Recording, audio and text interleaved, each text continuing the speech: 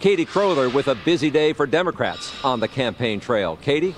Yeah, that's right, Charles. Senator Tammy Baldwin expressing confidence in her race tonight at a rally in Madison before introducing Tony Evers as the next governor of Wisconsin. Today is Tony Evers' 67th birthday, and he made it clear the best gift will be a win tomorrow.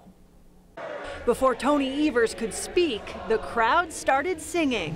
Happy birthday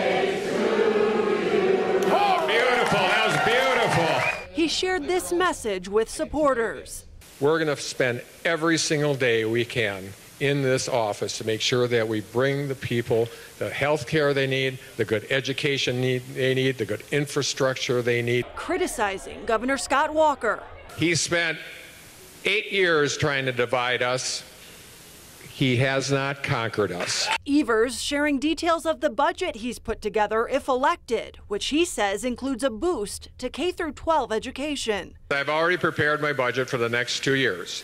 It's and it's going to have a 1.5 billion dollar increase. We're going to value those kids that struggle the most. Also reiterating that he will not raise taxes. Then on this night before the race is decided, Evers got a surprise birthday cake.